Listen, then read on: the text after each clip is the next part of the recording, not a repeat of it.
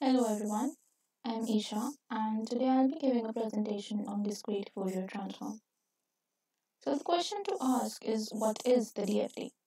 The discrete Fourier transform converts an n-point finite sequence of equally spaced samples of a function in discrete time into n-point sequence of equally spaced samples in discrete frequency.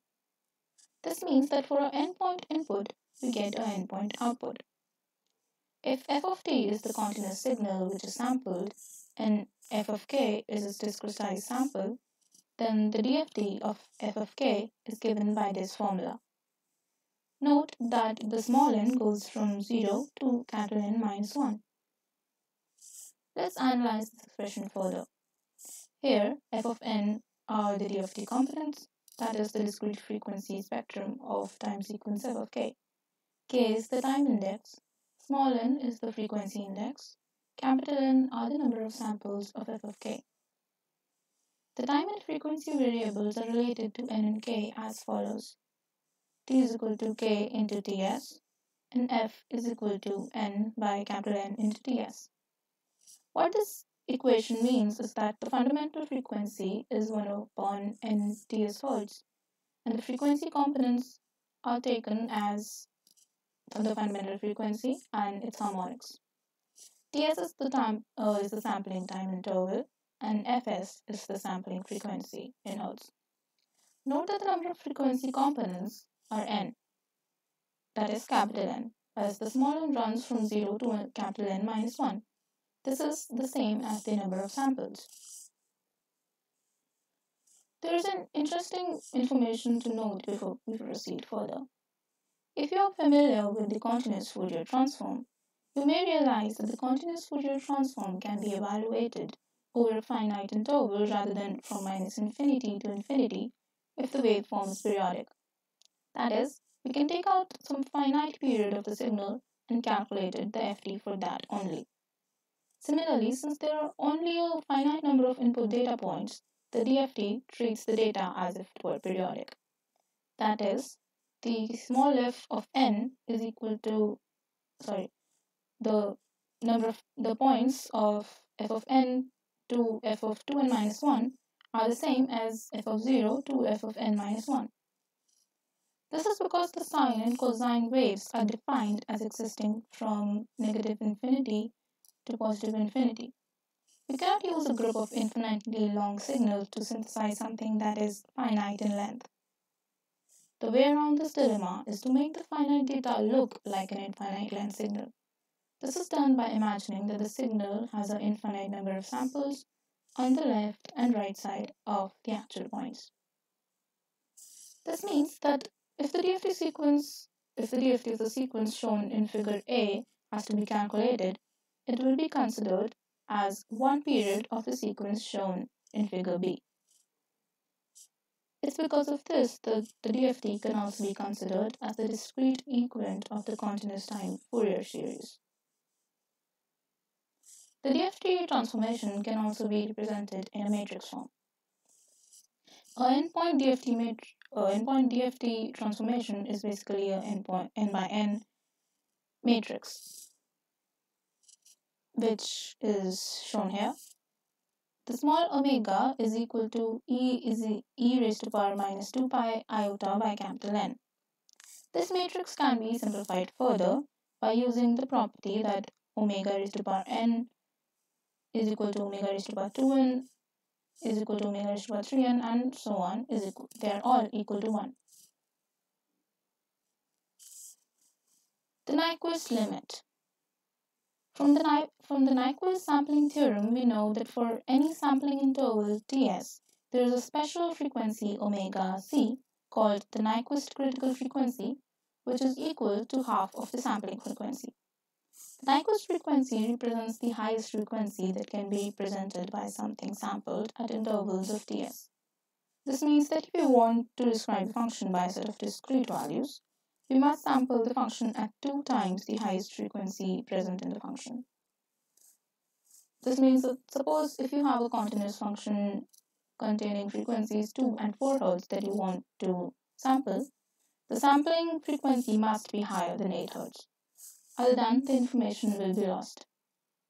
We will see in further sections how this is related to DFT. Conjugate symmetry and the, in DFT and redundancy. We live in the real world and we deal with real signals.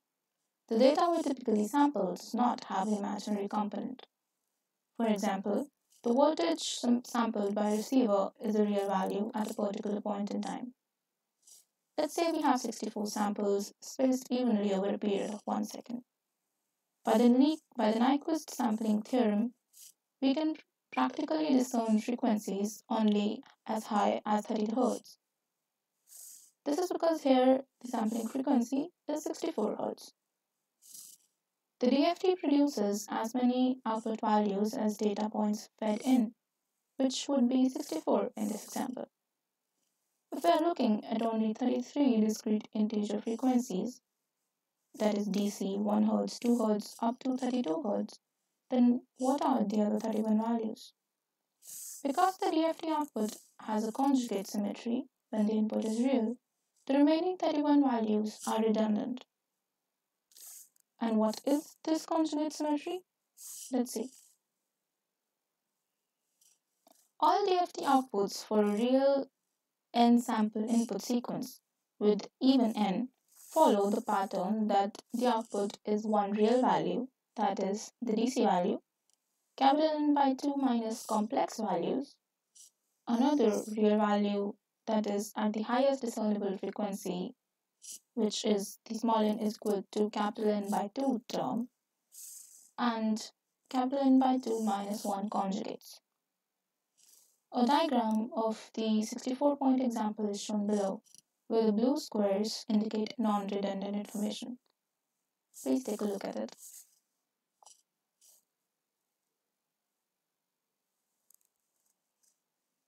We can see the symmetry more clearly through some examples. Consider four-point DFT. So there are four frequency components. We can stack these sequences by rows into a transformation matrix, same as the matrix shown earlier. Here, capital N is equal to 4 and capital N by 2 is equal to 2.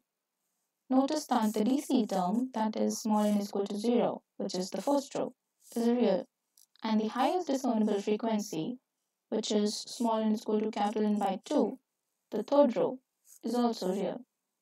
While the small n is equal to 3 term, the fourth row is the conjugate of the small n is equal to 1 term, the second row. This will be true regardless of what the input signal may be.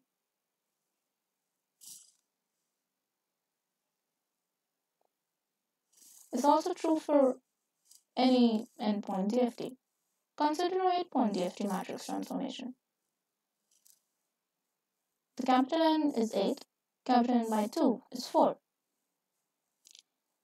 Same as before, here we see that the DC term, row 1, is real. The small n is equal to 4 term, which is capital N by 2 term, which is the fifth row, is real.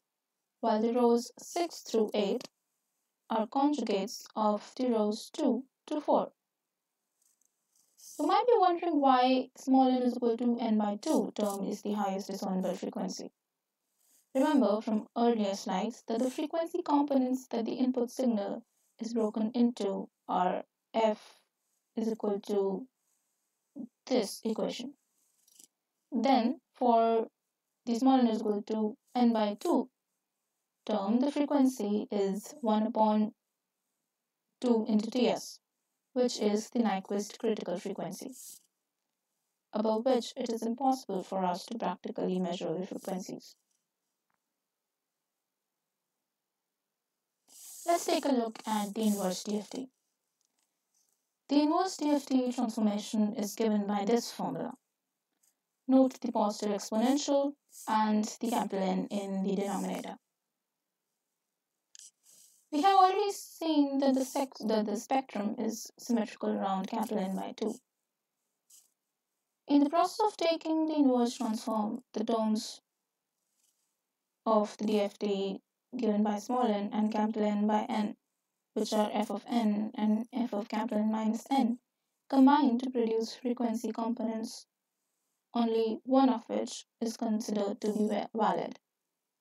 That is the one at the lower of the, frequency, of the two frequencies at f less than the Nyquist limit.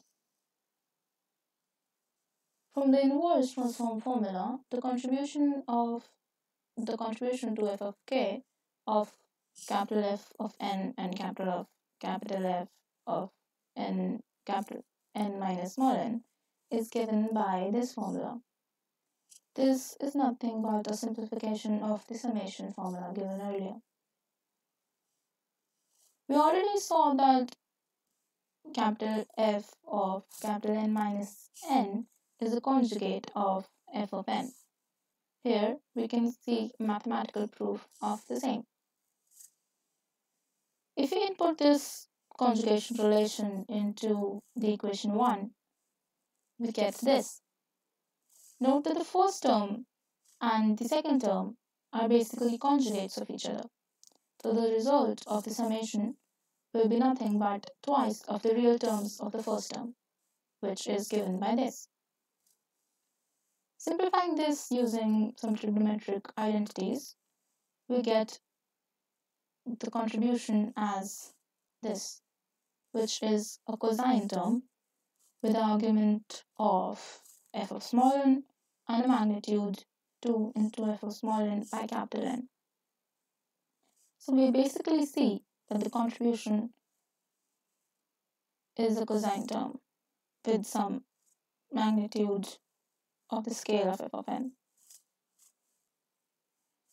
From here, we can see that there is no capital N minus n frequency component. Hence, the conjugate terms can be discarded.